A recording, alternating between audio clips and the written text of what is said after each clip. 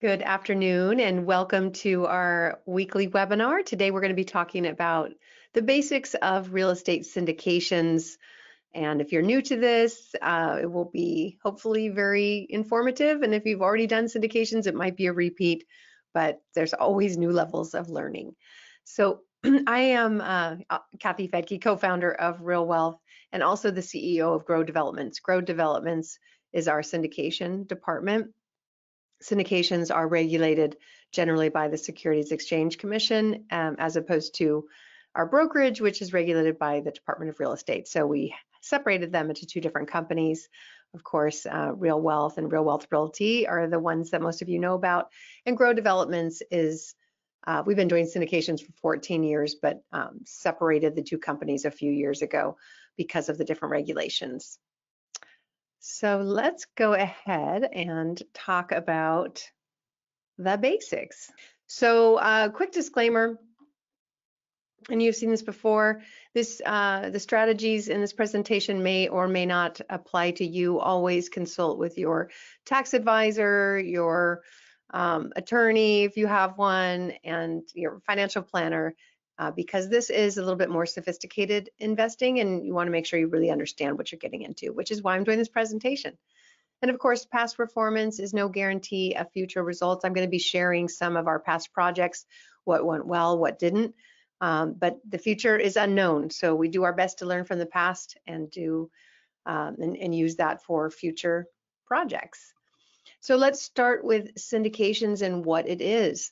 Well, a syndication is basically a group investment, at least a real estate syndication. It's where many investors come together to get something larger than they could do or would want to do on their own. And in, in addition to pooling money, so let's say 100 investors put 100,000 in each, obviously they could buy something bigger. There's usually a pooling of resources. So maybe somebody with extreme um, experience in say managing multifamily or a broker or um, whatever is needed in the management team of that asset that uh, those resources are brought together in the syndication. Um, usually the way it's legally structured is um, we do ours in an LLC.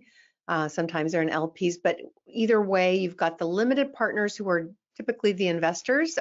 They are just investing their money and that's from a legal perspective, that's what they have at stake. It's um, limited liability and limited partnership there. They're just investing money, not time or expertise. The GP is investing the time and expertise.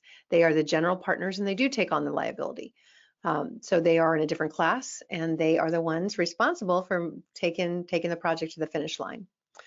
Uh, it is regulated, as I said, by the SEC, the Securities Exchange Commission, and um, generally these types of partnerships are uh, only allowed to accredited investors.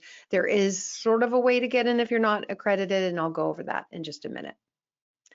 So the deal structures um, generally that you'll see, and people get really confused about this, is either you're coming in as an equity partner or a debt partner in most cases. And as an equity partner, that basically means you are a partner in the project, meaning you share in the expenses and profits as outlined in the offering documents.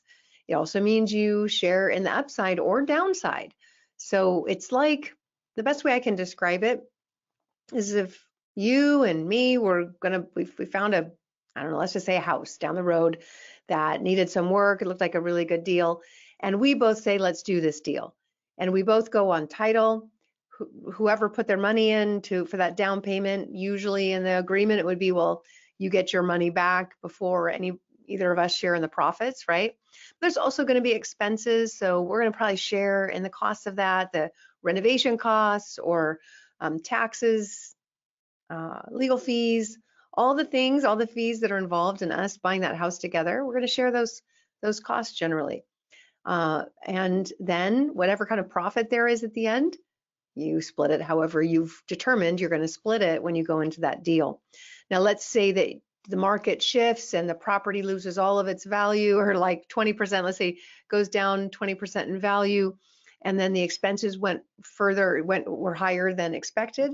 Well, now you have spent more than the value of the property in, in some cases. So when you sell that property, let's say, again, we, we spent $100,000 to buy this property, and after we're done renovating, it's worth 80,000.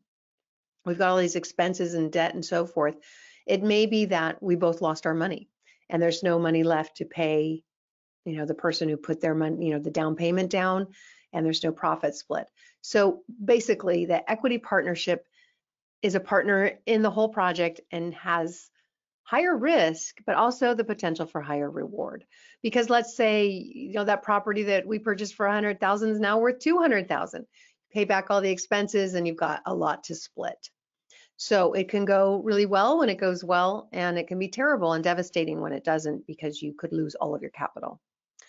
Um, as a debt investor, it's a, it's a little bit more secure, although nothing is 100% risk-free. So with debt, just like a bank, you're a lender and you could either be secured to that property or not, but usually have a set interest rate and a date that that payment is due. And so usually with debt, the debt gets paid back first. Again, using this example of you and I go out and buy the property down the street, uh, it's $100,000. We get, we put 20% down, we put $20,000 down. Now we have $80,000 in debt. As you know, that debt gets paid first. Um, usually in monthly installments, you gotta you gotta be paying it back monthly. But certainly when the project sells, uh, the bank gets paid first. So debt takes priority generally and is generally in a safer position, especially if it's secured, um, so that it's on record that hey, we we get our money first before anybody else. There's obviously some exceptions to that with certain liens, mechanics liens perhaps, but it has priority. Um, equity, as I said, comes after that. It's the 20% down that may or may not be at risk when that property sells. I hope that explains. Um, so the capital stack, this is just again a little bit further complicated of that of what I just explained. So secured debt means that again a bank put down 80%. They're willing to put 80% down because they get paid first that's why real estate's so great because banks really see it as a safe investment if there's that equity cushion there. So they figure a property probably isn't going to go down 20% and their money is safe. So secured debt um, gets it gets highest priority. It comes out first generally, but it also tends to have the lowest return because it's safer. Um, because people feel secure with knowing that there's a collateral there. It can be a lower return. Just like you could walk into a bank and just a few years ago get 2%. That's a 2% return that the bank was getting, but there was security there. Um, so they were willing to do it. Of course, now it's much higher than that. Unsecured debt is the next level of debt where maybe there isn't security, it's just a loan to the company. Uh, because maybe that priority loan doesn't want, or that um, secured debt doesn't maybe want another lender there. Maybe there's rules uh, around that. So there might be an unsecured uh, loan on the property. And that usually, again, takes precedence to the equity. Um, they often, they call that different things, but it could be mezzanine debt or uh, bridge debt. It's kind of what comes next. And sometimes it's secured and sometimes it's not um, second position, third position, position loans, and so forth. Um, in in recording these liens, that's how you know that you're really safe because it's recorded. Hey, this person gets their money first; they're in first position, then second and third. Whereas unsecured debt doesn't necessarily have that. Ooh, my my screen does such weird things. So let's do that, and I'll come back. All right. Um, preferred equity. Uh, so there can be several levels of that equity. So again, going back to that single family homes, it's easy to use the numbers. We buy this property together, it's $100,000. You put up the $20,000 and I'm gonna do the renovations, let's say. Uh, you would obviously get your money back out, out of the sale. You're the preferred equity partner. But um, let's say there's two of you and I bring in I bring in several partners and each one puts in $5,000 on that $20,000 deposit. Uh, it could be that that in order to uh, bring in that money, some people say, no, I want to be first out even as equity. um, and I want a guarantee of like 5% or 10% or whatever on my money during the time that it's tied up. That's preferred equity. So if that's written in the documents, that means that even with the equity partners, there's some that get their money back first at a certain return until that's paid off and then the um, simple equity gets theirs. So preferred equity obviously is preferred, right? you get your money first. Um, and there's some projects that don't don't have that at all. You're just everybody's all equity and everybody just gets their money pro rata when it comes out uh, versus preferred. So again, with secured debt, I, as I said, it's the least risky. It's tied to collateral. It's great for IRA investors if you're trying to invest in a syndication with your IRA. This could be a great one, a great one for you because you may, in your IRA, you really need to think, keep things passive. Once you start getting into more active businesses within your IRA, when your IRA invests in active things, then there could be tax on that investment. It's called unrelated business income tax. And here you've set up this IRA so you don't have to pay taxes. And then you might find out later, oh no, I am paying taxes because I invested in a business uh, versus something passive. Now, it's pretty obvious to an IRS agent that secured debt is passive. You, you wrote a check, you invest in a project, it's a loan, that's passive. Whereas if you're an equity partner, they could argue that, especially if it's an active investment like flipping houses or uh, building houses or, I don't know, investing in a tech company or something like that is active. So you could face some pretty high taxes on that. But again, debt is a great option for IRA investors. Um, and you have a set payment amount. It's like, uh, hey, this is a 10% interest rate and it's due in five years or 10 years or whatever. So you, you could kind of manage your money well because you know what you're going to make and when you're going to get it, hopefully. Um, the cons is it's a flat rate. It's usually lower than what the equity would get if things go well. There's no profit participation usually. The return is usually capped at what the agreement was, and you generally don't have voting rights. Now, unsecured debt, like I said, it does take priority to equity investors, so that's a bonus.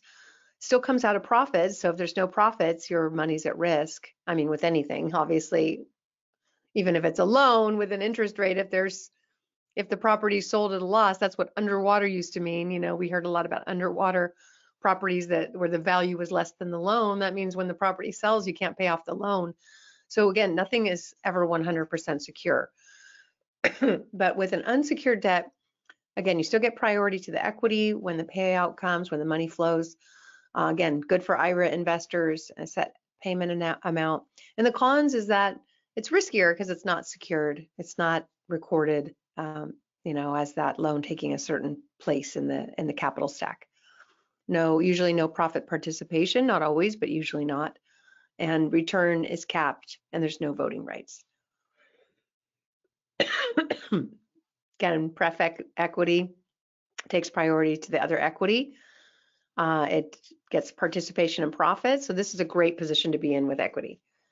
Um, usually a set pref amount and voting rights sometimes.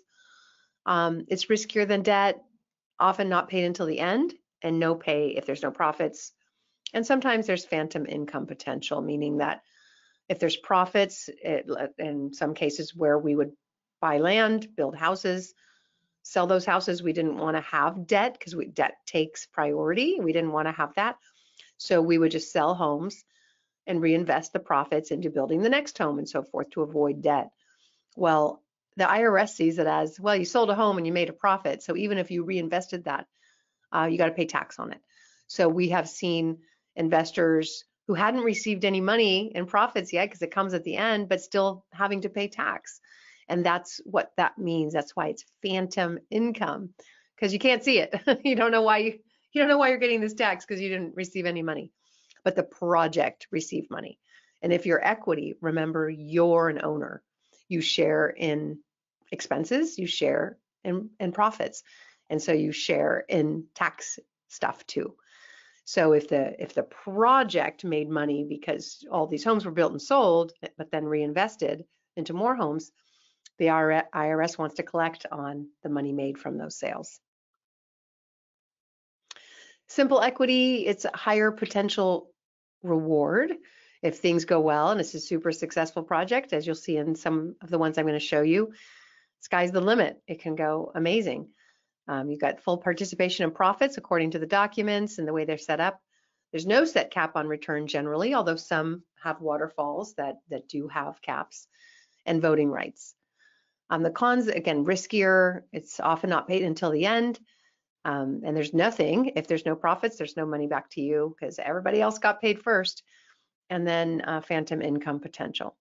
So one of the things to look at in a structure like this is, uh, I've seen this a few times. In fact, a project was just brought to us that we turned down because uh, it, basically there's these hurdles. So after investors get to a certain amount of return, um, then then things flip and the operators get a bigger chunk. So you just have to know, you've got to read the documents really carefully. In this project that was presented to us, it was like 10 years down the road that investors would get anything. And at that time, it would flip where the operators got the bulk of it after the investors had tied up their money that whole time. So be careful of these waterfalls and make sure you understand them.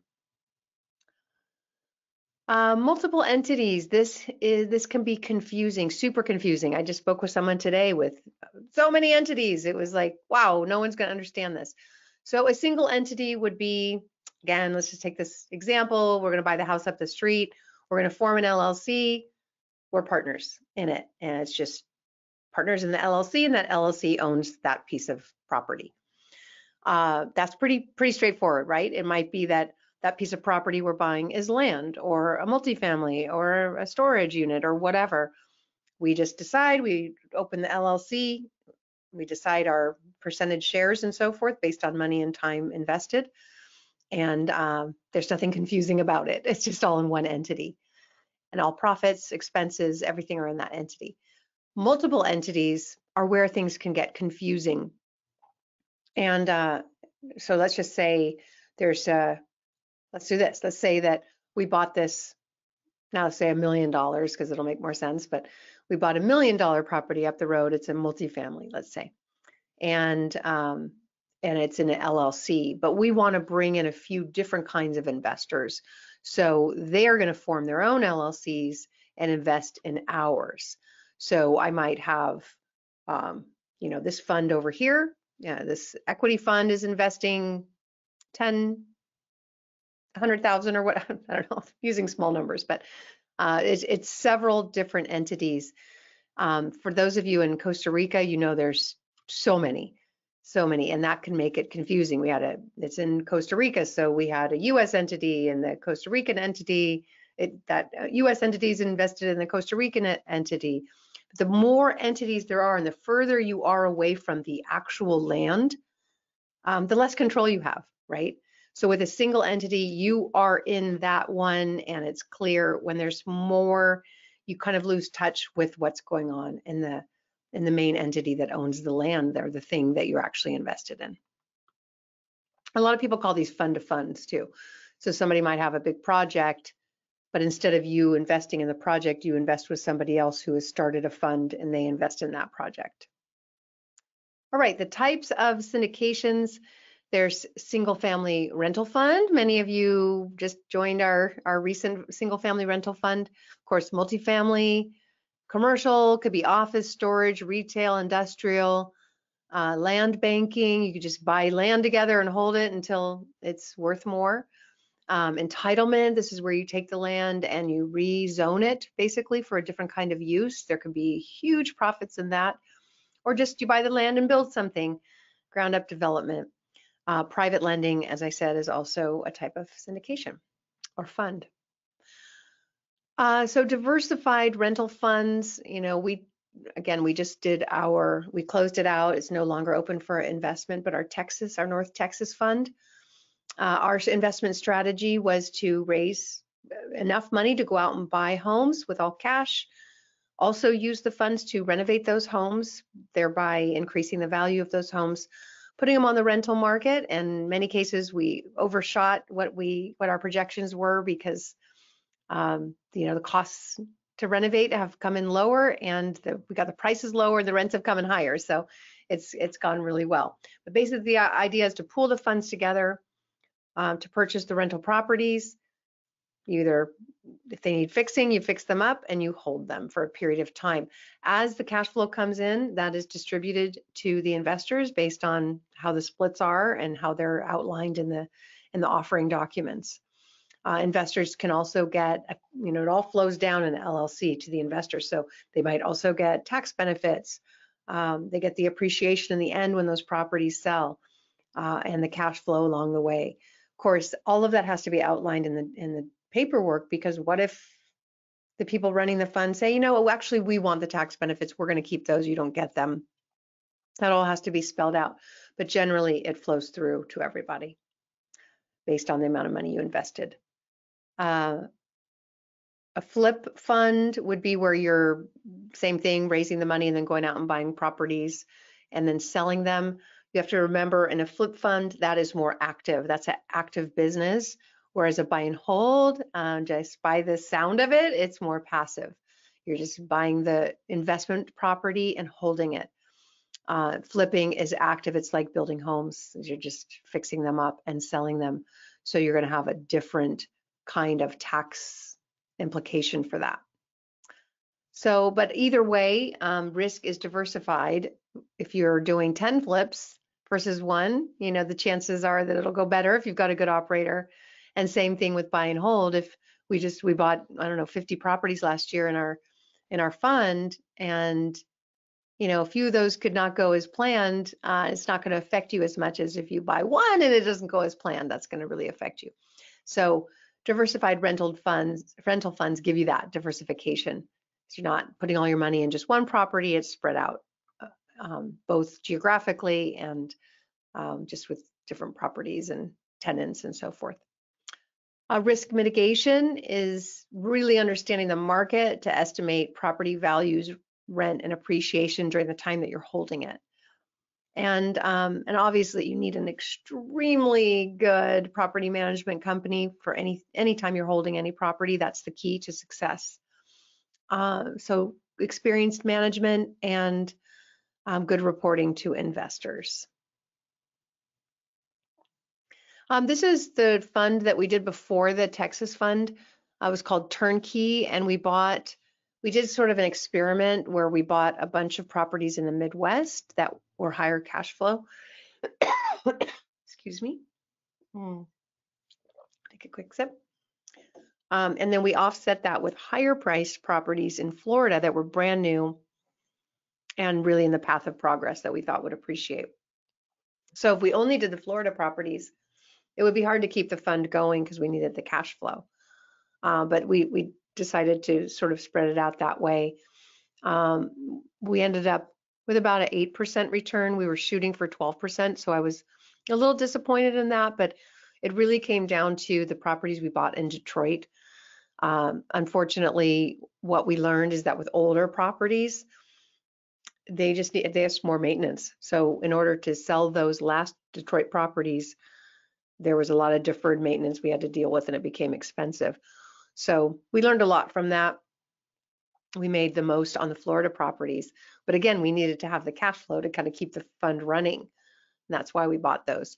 So, you know, it's just important to know when you buy older properties, and I, I do mean quite a bit older and in climates like like you know cold wintry climates, there can be more maintenance, and you've got to factor in those those costs.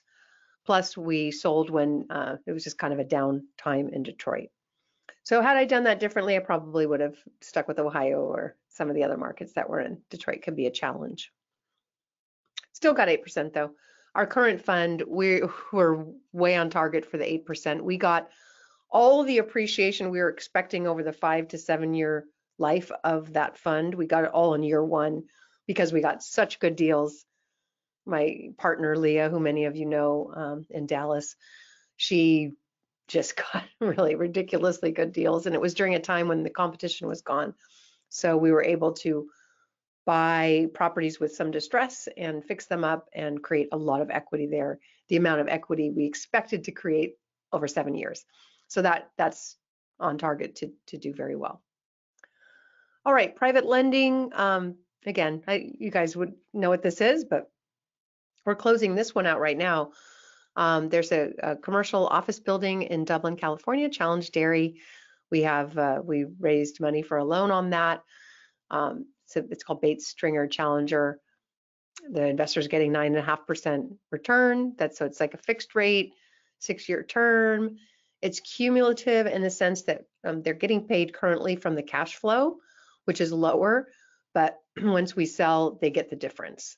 So that difference is cumulative. So that's going to work out well for them. Uh, paid again from cash flow and remainder paid upon sale. Land entitlement. Some of you are involved in our most recent land entitlement project. Basically what that means is, like I said, changing zoning, getting permission to use the land uh, from, from the city council. Uh, it's, so the investment strategy is to purchase or option the land, work with the regulatory bodies to approve the rezoning, and sell to a developer or develop it yourself, depending on what your plan is. Risk mitigation, uh, it, it is the, probably the riskiest of all types of asset classes because you're completely dependent on the approval of a board, you know, of of the city planning commission and, and the city planners. So you are at their mercy. So before ever going into a land entitlement deal, you'd already want their okay. You'd want them to want this project and be behind you. Even then, you're not 100% because they may get voted out and somebody new comes in who maybe doesn't want it or doesn't want the growth or wants something different. So um, it's the it's the asset class where you have the less least control. So there's higher risk, and that's why you really want to go into it with agreement already that the city council wants it. You also got to understand the market and estimate what the property's worth is going to be once it's rezoned and have those conversations. So ideally, you already have an end buyer who's ready to go once you get it rezoned and need you know need lots of experience because you're really dealing with politicians and um, you know angry, angry residents sometimes they may not want what you've got they've got power but some of the past entitlement projects we've done have just been amazing uh, this was with fred and scott stringer fred bates and scott stringer 2013 dublin crossings there was an old office building um, that we got in contract for $10 million but we only had to put up a $1.2 million option for two to uh, two years with a one year extension. And in that time, we just needed to rezone that office to residential, but we already knew that the city wanted it because they were doing a completely new downtown plan and they wanted that. So uh, the city was behind us. Once that was rezoned, um, and there were certainly challenges, which I'll talk about in a minute, but um, it still eh, got through it. Was it we were able to re-entitle it and create finished lots for builders. Uh, Pulte Homes ended up buying it for 20 million. So remember, we tied it up for 10 million, only had to put 1.2 million down, and sold it um, two and a half, three years later for 20 million. So it was a really, really big return. I'm going to say an average of 32% IRR, but some people made even more than that, depending on when they put their money in. So again, these can be home runs, and that's per year, that return. um, you know, they can be just incredible, but they're, like I said, they're also risky. You need a very experienced team in place for that. Mm. Okay. Uh, also, we did Pleasant Hill, uh, bought an industrial building, same thing, um, optioned it, re-entitled the land for residential, torn down the existing building, finished out the lots, sold to a national builder. I can't remember if that was Pulte or not, but investors made a little bit lower of a return than we were hoping for.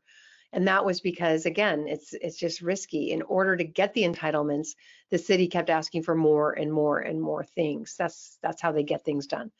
So right when we were ready to close and sell, the city came back and said, "Oh, wait, you need to put traffic lights here and roads here and this and that and lights." And so it, uh, it, it ended up costing us more to get the entitlements and investors got a 12% annual return. Still good, but for the risk involved with entitlement, we would have liked it to be higher.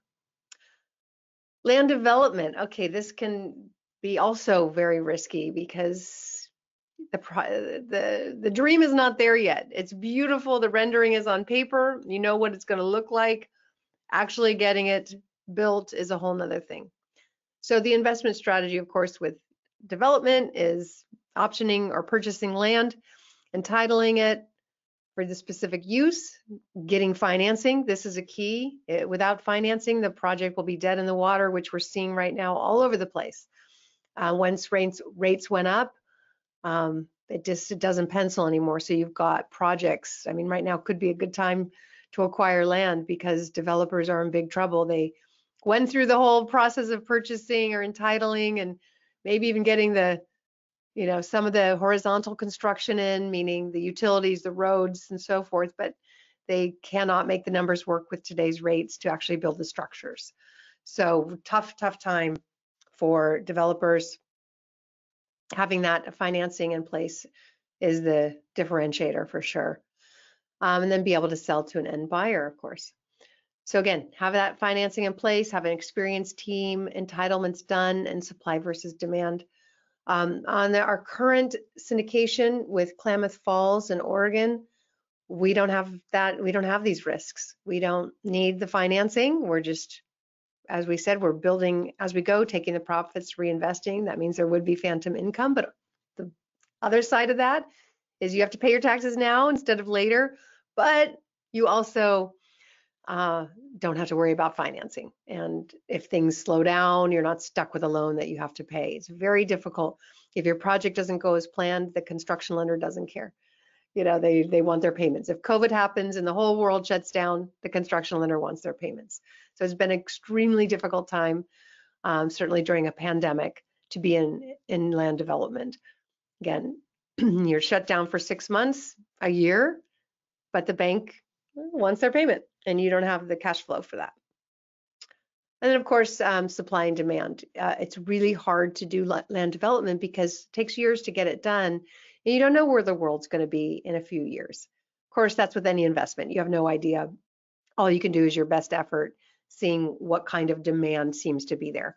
Are there new businesses coming in? Is there expansion? Are there new freeways? Um, airports, you know, hospitals, like what are we seeing in terms of growth that would cause the demand that we need. Whoops.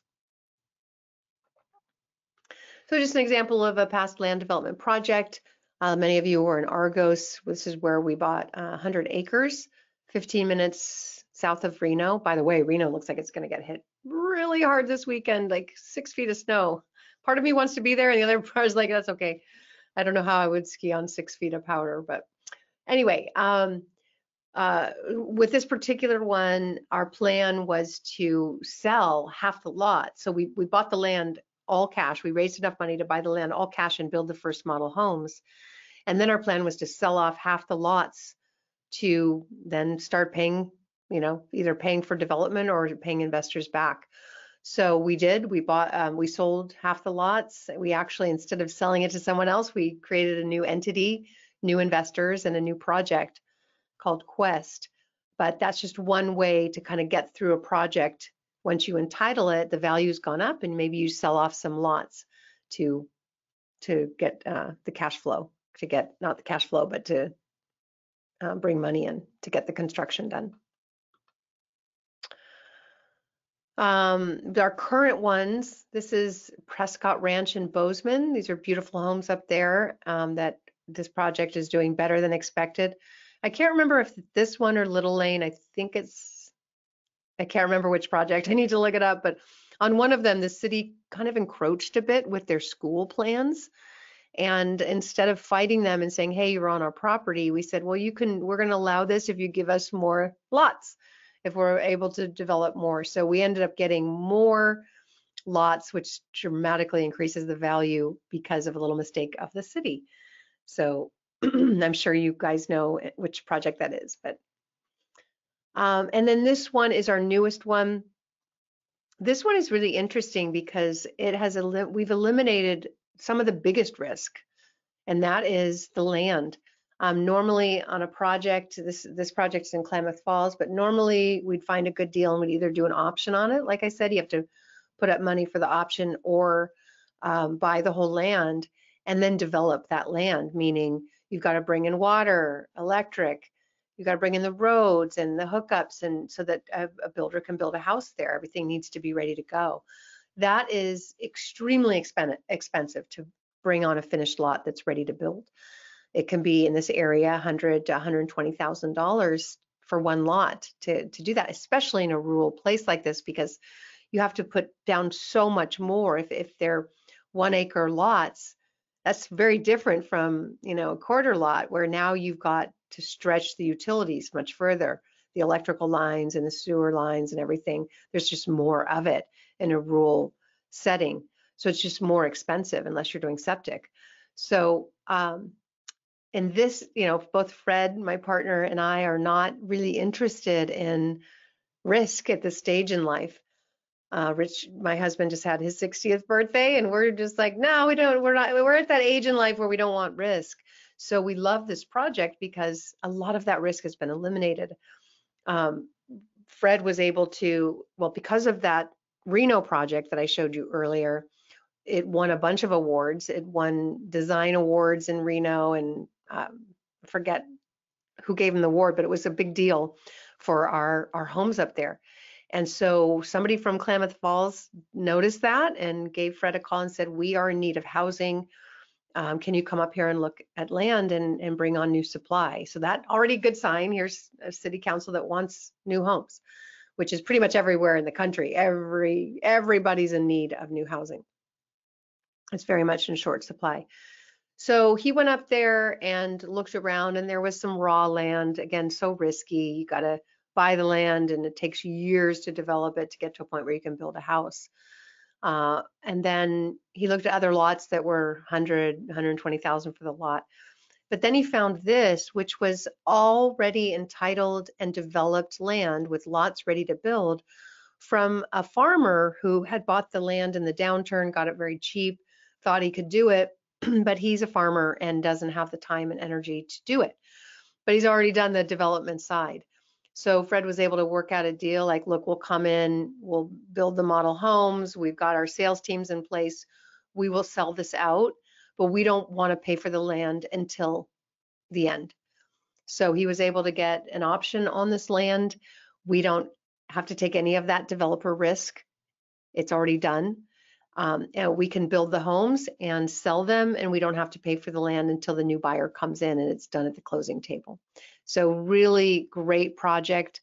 Um, as a result of that, we're able to give a uh, preferred return of 12.5%. So I usually do high preferred returns on um, investments like this because it's an incentive for us to get it done. So if the project takes longer, the investors continue to keep getting their 12.5% per year before we get any profit. So eh, the longer it goes, the less profit that Fred and I make. So I like having the higher pref in place because it motivates the builder to get moving. And sometimes things are out of our control, like COVID, that really worked against us because it did get delayed several years and our profits were gone uh, but the investors still accumulated their pref, which again is 12.5%. So if you are interested in that, you can go to growdevelopments.com. You do need to be accredited to invest, but that is, uh, as Fred puts it, his best negotiation ever on uh, on this deal. Because the other thing is, the negotiation is he, we're getting these lots for sixty thousand dollars, which is about half of what it cost to, to build them and to get the infrastructure in. So right off the bat, we're getting a great deal, like 50% off of, of the lot value. And we don't even have to pay for it until the end. So great deal. Again, if you want to find out, it's growdevelopments.com for more information. That's just open till, I think the deadline is March something. Who can invest? So let's go over what an accredited investor is. The SEC definition is you either earn $200,000 income as an individual over the last two years or $300,000 if you're married. Or, these are all ors, you don't have to meet all of these. Or you have a million dollar net worth excluding your primary residence. So it could be in stocks, investments, syndications, real estate, whatever, just not your primary. Or you can have a securities license and you can you can look that up. Just Google SEC accredited investor and it'll tell you what license you need. There's several ways that different syndicators will structure deals. One is a 506C and one is a 506B. The 506B is the original um, regulation that allowed companies to raise money from investors.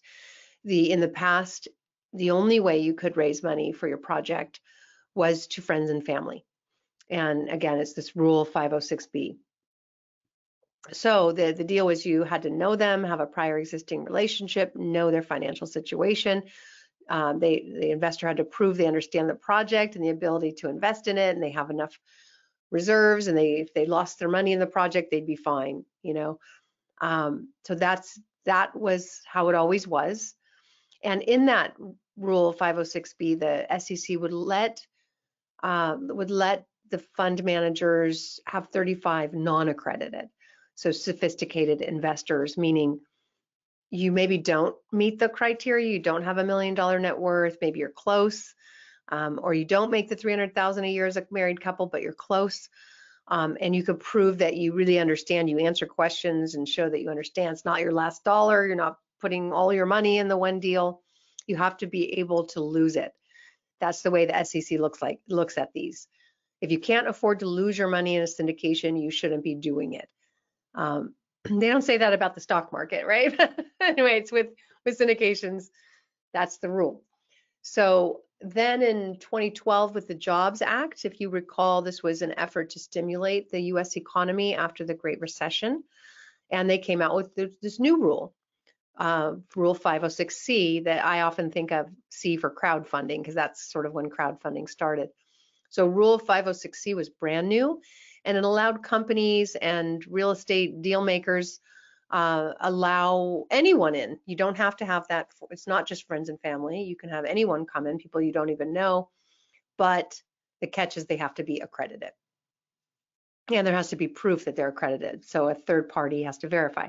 That can be a CPA, a financial planner, or you can go to verifyinvestor.com and they give you a certificate. It's just, you just show some documentation. Um, but that's the rule on this crowdfunding 506C. Anyone can be a part of it. I can talk about it here. I don't know who's here today, but it doesn't matter because as long as you're accredited, you can invest with us. Um, don't need the prior existing relationship, and, and that means you can advertise. So that's why you see a lot all over Facebook. Hopefully, people with the 506B weren't advertising on Facebook or anywhere else because you have to have to be a 506c to do that.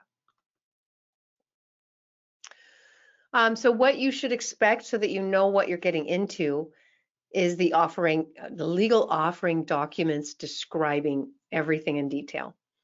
It's a legally, the operating agreement is the operating agreement for your company, your LLC, your limited liability company that you're building together.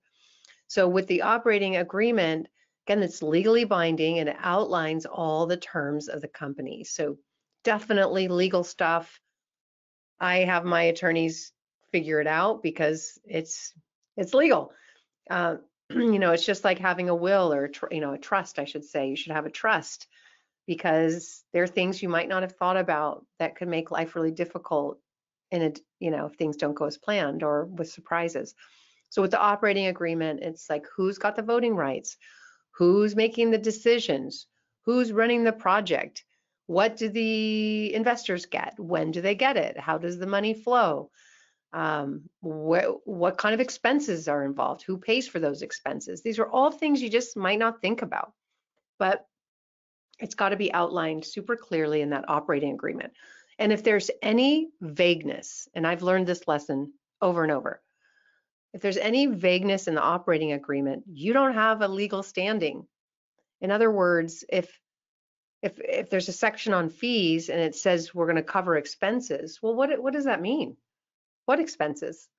You know, are, your office, your whole staff, your receptionist, your travel, your private jet, like what exactly are those expenses? So that really needs to be outlined because we found in the past we were paying for somebody's private jet and I wasn't too happy about that. It had nothing to do with the project. So, um, but there's no argument, right? Because it wasn't clarified.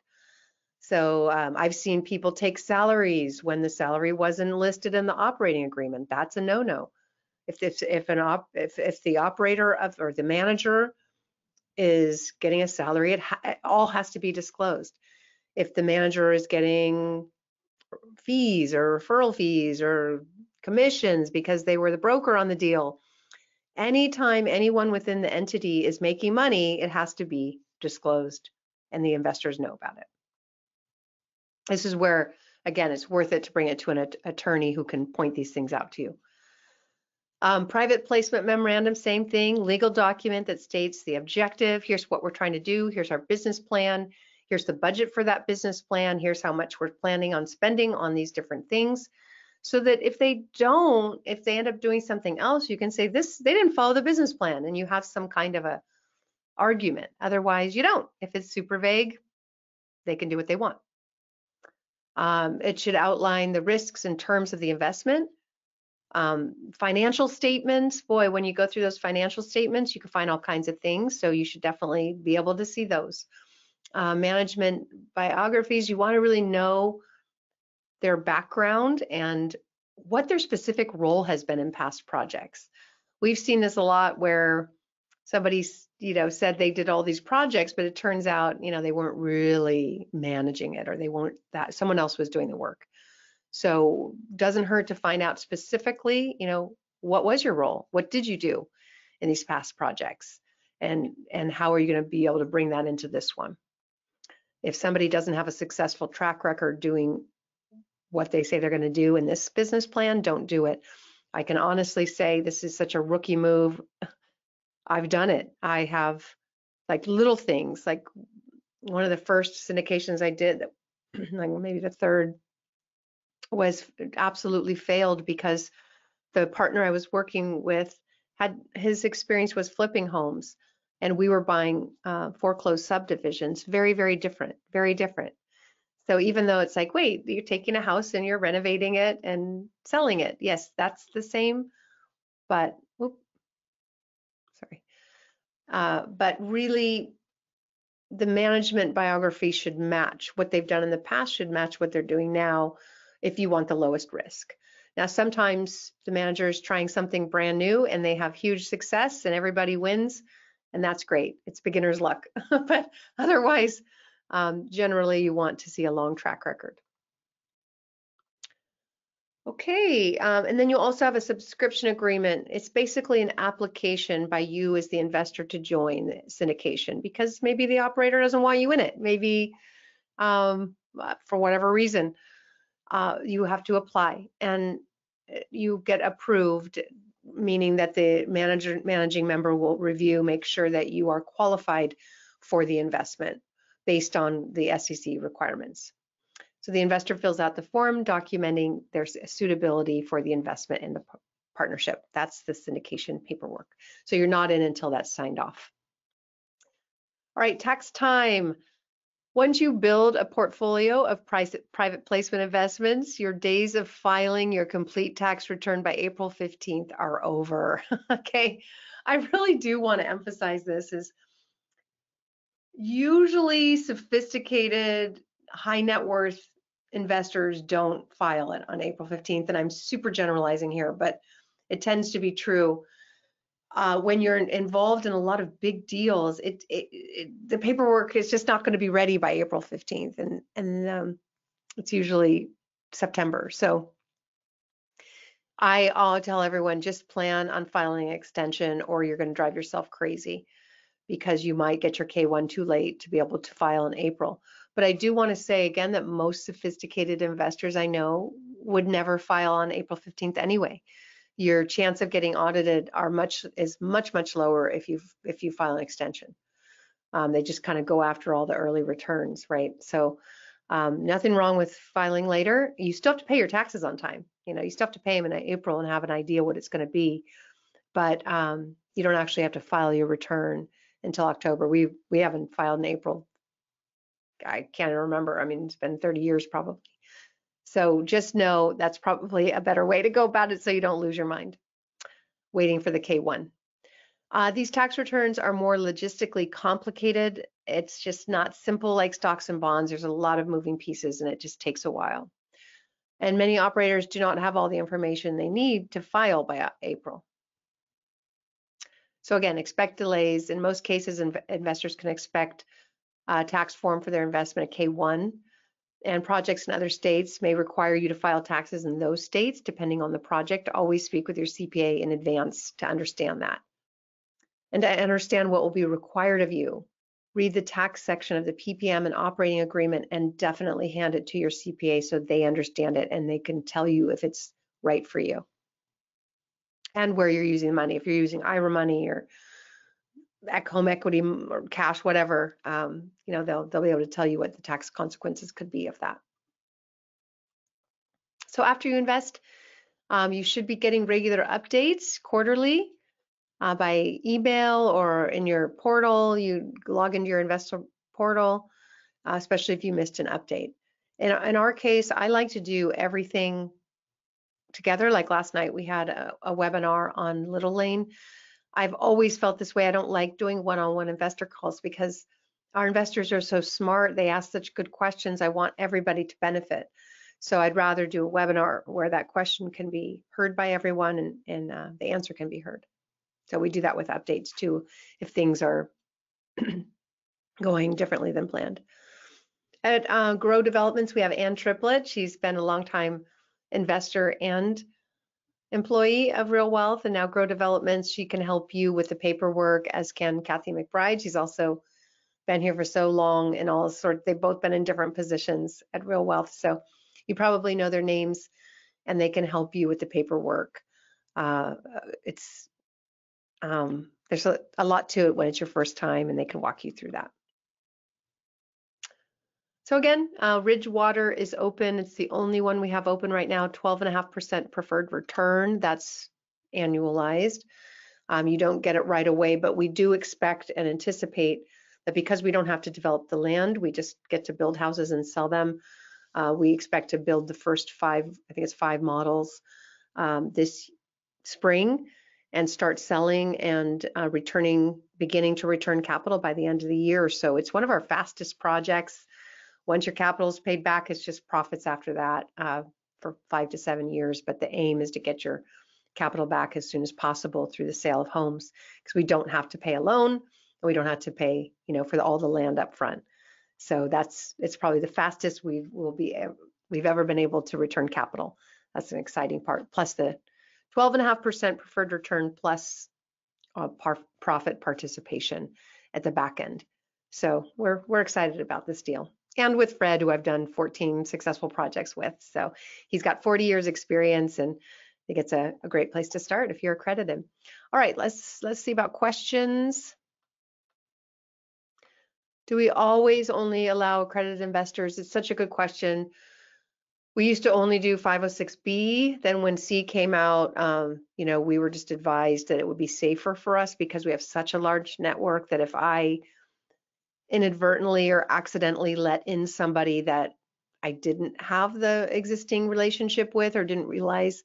I mean, we have it all documented. So, um, but our legal counsel really suggested that 506C would be the safest for us because, um, you know, it only allows accredited investors. But that that's not to say I wouldn't be open to doing a 506B in the future.